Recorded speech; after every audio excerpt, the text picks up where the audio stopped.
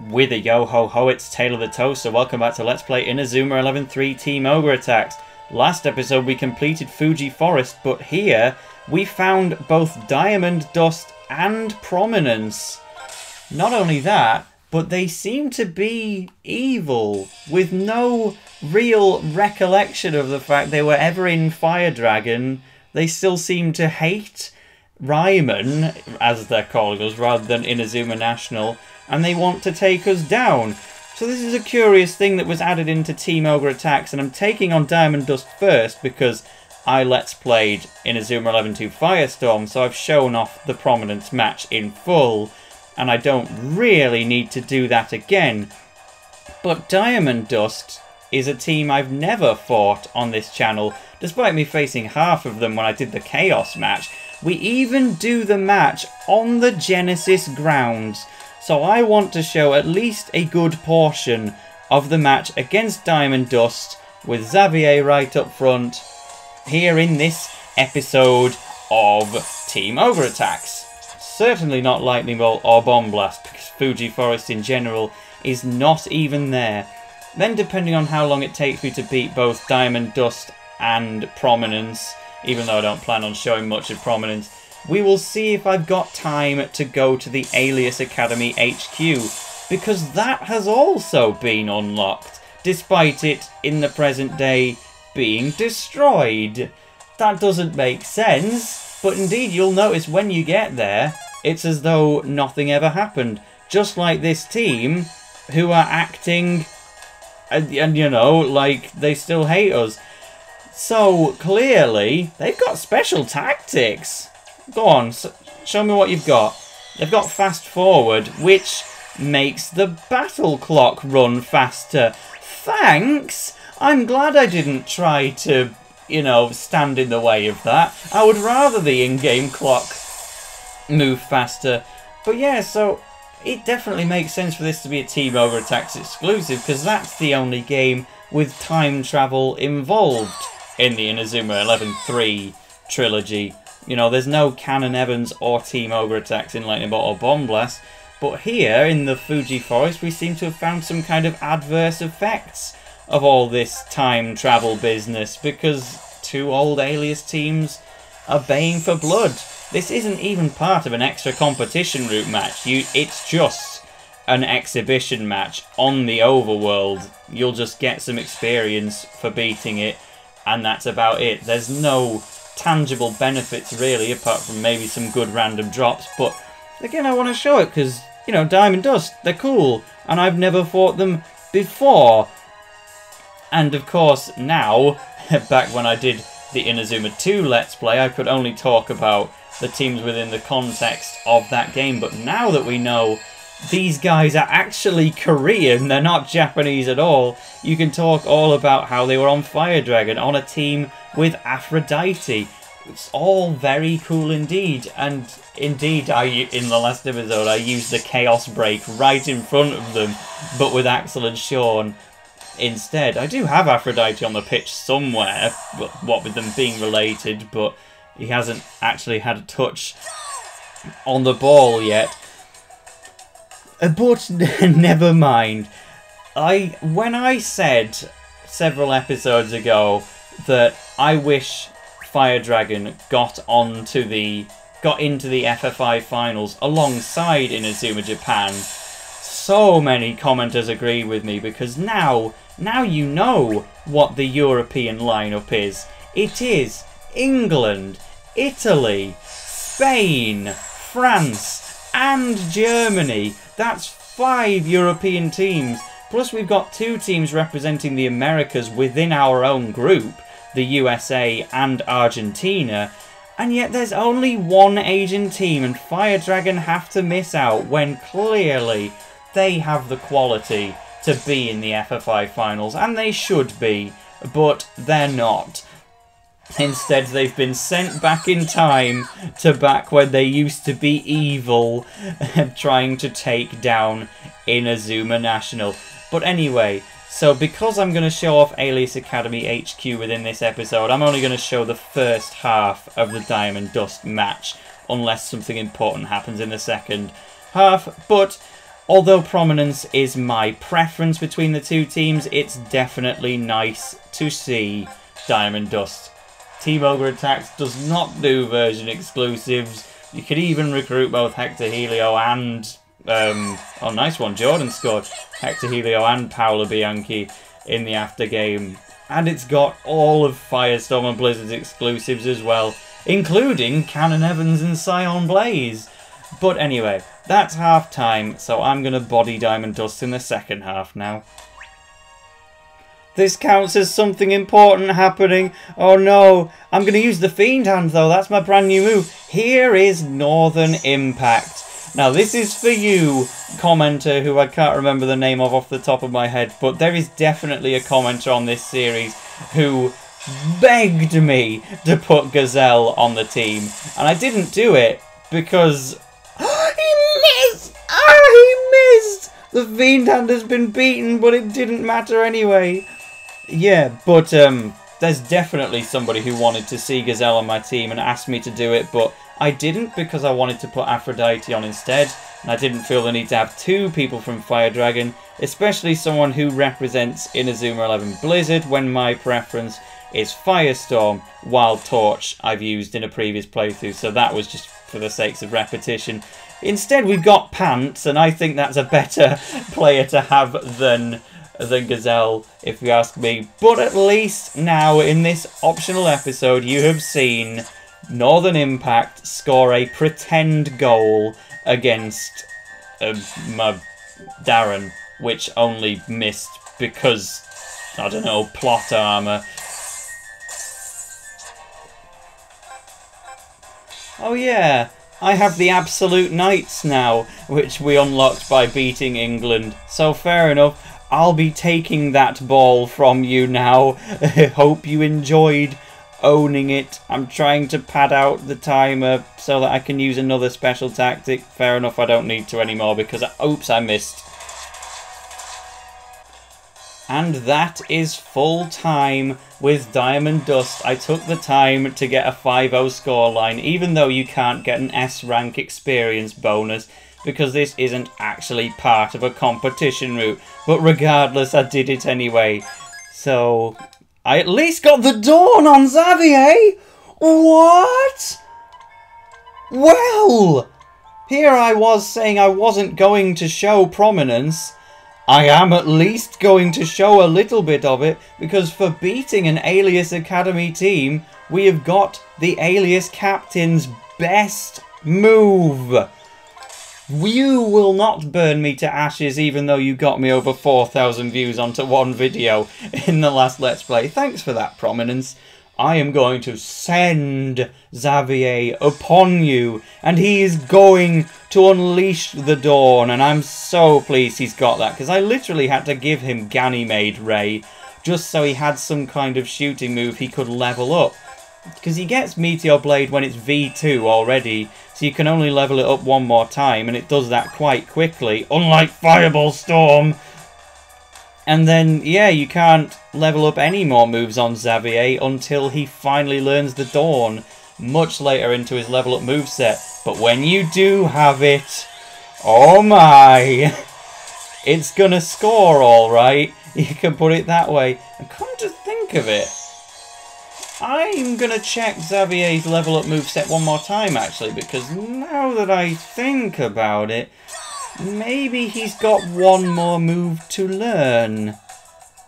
Which would take even longer to unlock, presumably. But it could do a God Break and just not be present.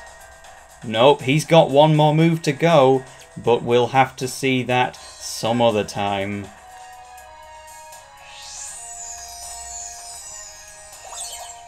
Um...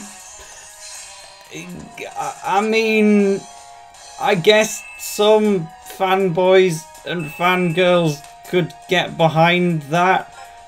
Inazuma 11 lesbian ship confirmed between Prominence player and Pants. Pants, you've only been on my episode for three three episodes and you've already found yourself a, a gay ship.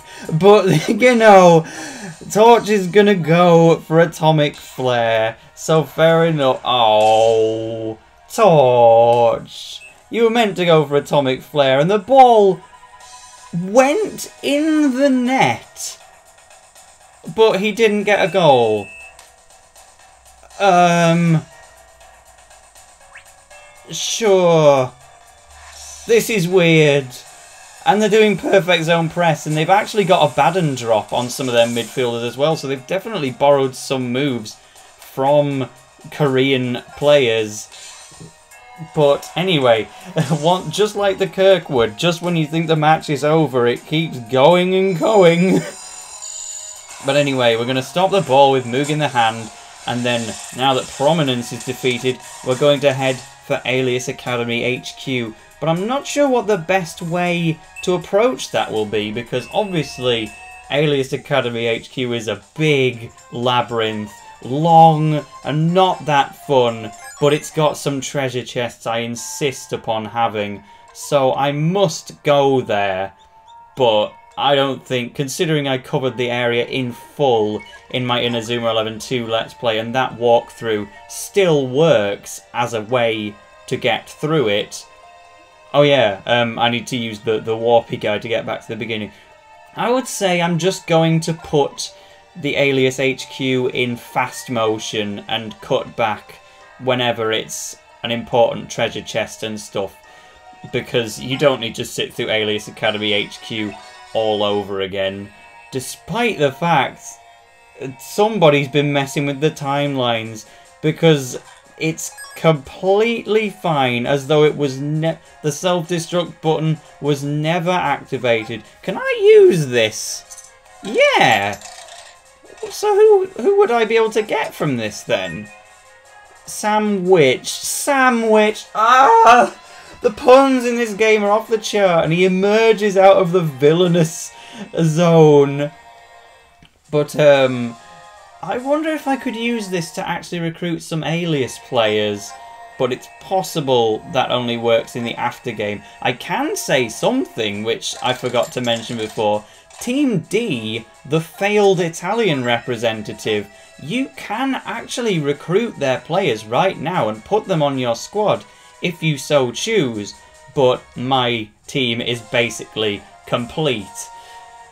So anyway, I'm to hop into the Alius HQ, go super fast motion, and I'll be back when I get some kind of worthwhile treasure chest.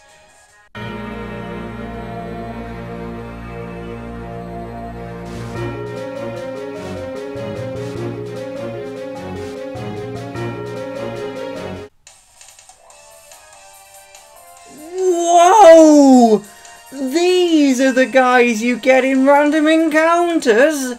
I'm literally playing against Dvalin's Advanced Epsilon form. And all of these guys are Advanced Epsilon designs. And I think I actually remember now my previous trip to Fuji Forest, uh, the Alius HQ. I think each different floor has different Alius teams on it. Which is a very, very nice touch for something they only put in Team Ogre attacks. So, um, hmm, suddenly, random encounters seem worth showing, but the rest of the actual area does not.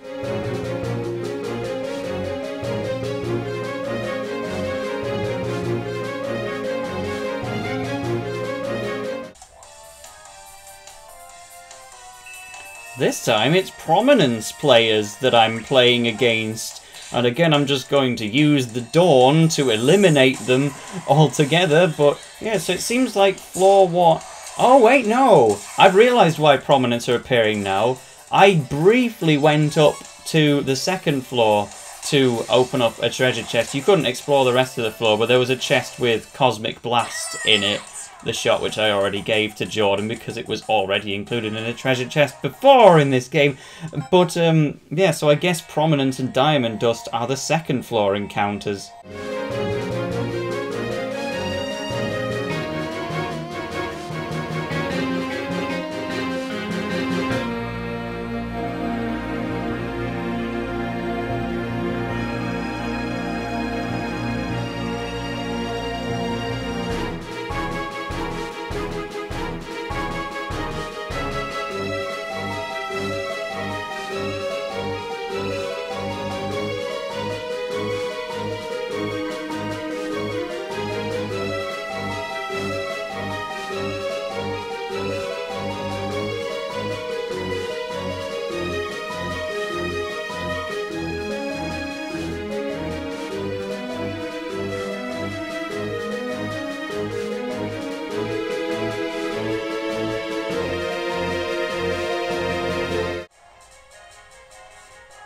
Now this is the door where Coach Lina burnt her fingers trying to rescue us, proving that she was indeed someone that we could trust in the end, because up here is the Alius Crystal, and here it's also definitive proof that clearly the timeline's still busted because the Alius Crystal is quite clearly still here, but most importantly, behind it is possibly my favourite defensive move in the game.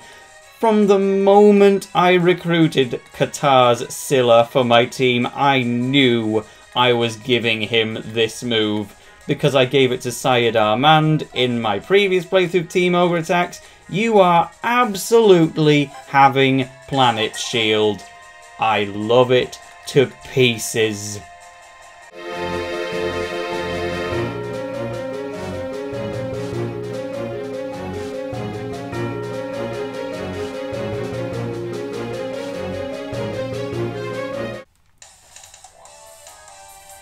Aha! Now on the third floor, it's the Alius Aces. This is a team purely of Alius Academy captains. And Dvalin is in his goal where he belongs to be. Let's use Cosmic Blast because I haven't actually done so yet. It's a brand new move that I found in a treasure chest. Part of Janus's move set, so I thought it should be part of Jordan's. And it's going to score on Dvalin, which I'm sure that by defeating these Alius players, you can presumably get them out of the out of the lottery machine at the start of the place. I should probably give that a go.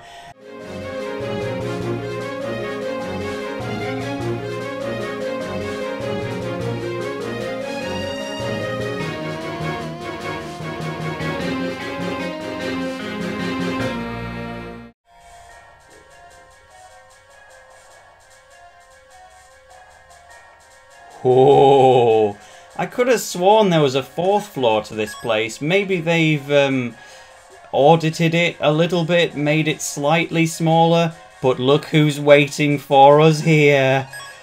That's right, as if we hadn't faced prominence and diamond dust enough.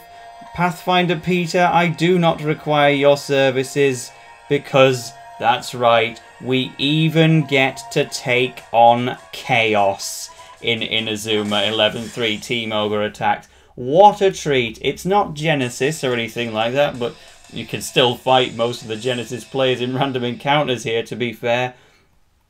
So again, I don't need to show off Chaos in full, because I already covered them in the last Let's Play, in one of my most popular videos ever, but they're level 54, which is so good.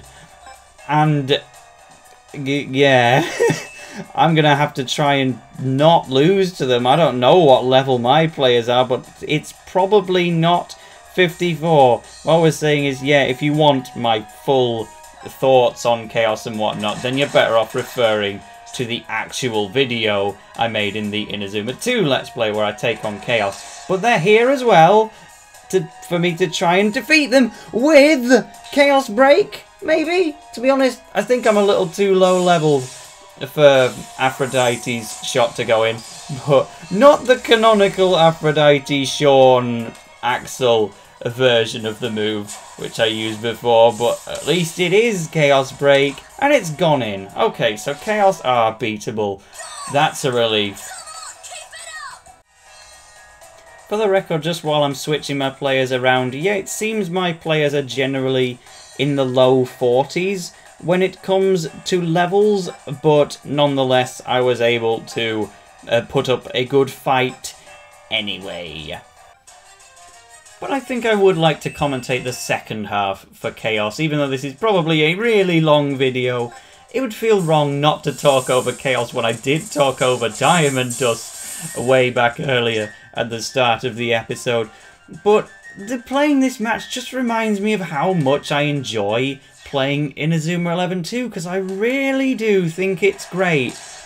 But also, when I started this Let's Play, I wanted to use it to try and decide for myself which game I truly preferred out of Inazuma 11 2 and 3 because they're so close. Inazuma 2 carries a lot more nostalgia to me, whereas when I started Inazuma 3, I was actually really distracted by Pokemon Y. I was playing that more than I was playing Bomb Blast. But over the years, I've just come to love Inazuma 3 more and more. I held the capsule system against it, and why can you catch the Dawn in your hands when you could when you couldn't save Chaos Break with Burnout? That doesn't make sense. But we're already winning anyway, so I'm not too concerned. But, yeah, I kind of think... I used to say Inazuma 2 was my slight preference out of the two games due to better recruitment and personal nostalgia. But throughout the process of doing this Let's Play, I think I've made up my mind, even before I've even finished the game. I think I've decided that I just narrowly prefer Inazuma 11 as a game, which would make it my favourite Inazuma 11 game overall. Now believe me, when we get to Inazuma 11 Go Chrono Stones on this channel, you will see a single single player experience which again rivals this game for the best. I love Chrono Stones so much, but it has other flaws which stop it from being a contender for my favourite. We'll get to that later. First we got to get through Inazuma 11 Go 1, and before that we've got to finish the Inazuma 11 3 Team Ogre Attacks LP, and before we can do that we've got to beat Chaos, because they're no, you know, trifling matter. They're still very much out leveling us, and they might be about to go for a shot. But if that's a chance to see Fire Blizzard, then I don't mind. Or it's a chance to see Planet Shield. This is so funny. Sayadar on my previous playthrough, he's not even meant to be a defender, but I gave him that move and boy did he become one. And I'm so pleased that Scylla can have it as well because it's just too hilarious. And yet Genesis actually has that as a move. With complete seriousness, that is a Genesis defensive move. But now it's mine, and Katar can crush the people below it. I mean, he's Japanese, of course he is. So is Pants. And Pants is also definitely a male, because women aren't allowed in the FFI, so we have to pretend that, to use her Japanese name, Pantsu is a boy from Japan. That's why Tori and Sue can't be on the team, but we've just casually overwritten that. That is a thing in this game. None of the candidates are women because it's against the rules, but you can still put women on the team if you really want to, which I did. But that was the match against Chaos. They have the special tactic fast forward, just like Diamond Dust and Prominence, but just let them use it. If they try to use a special tactic, just allow them because fast forward makes the match end faster. That's a 4-0 victory for us. We defeated Chaos, having explored Alius HQ. And they don't have anything to say about it, like, but...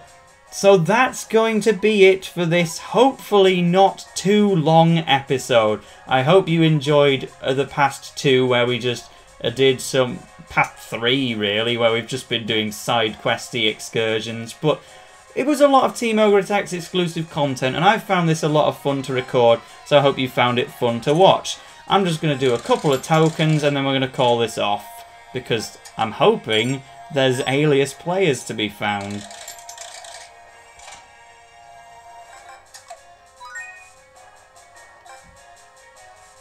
Nah, I've recruited a bunch more players from the Fuji Forest, including this guy who was actually the one who used Utter Gutsiness catch against me. But I can't find any Alius players. Maybe they're here, maybe they're not. I don't know, let me know in the comments. But thanks for watching. See you in the next episode where we get back on with the main story. ta -ra.